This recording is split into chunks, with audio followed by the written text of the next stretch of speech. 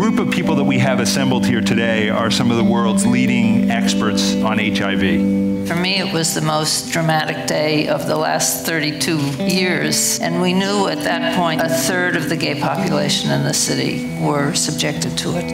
I was told not to focus on AIDS because by the time I was fully trained, the epidemic would be over. And that was 1987. I'm going to die from this. This isn't going to be cured for years and years and years and years. So I was one of the first to find out before I became sick. And in that sense, I was lucky, and one of the reasons I'm probably here today. Today, we understand this virus better than any other virus on Earth.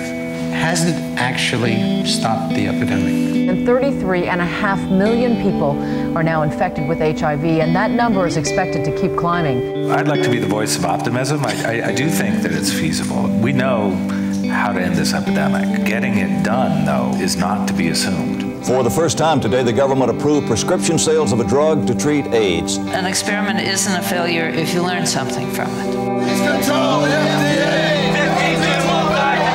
They, they may not have loved us, but they did not like the fact that the government was ignoring us while we were dying. That hurt their conscience.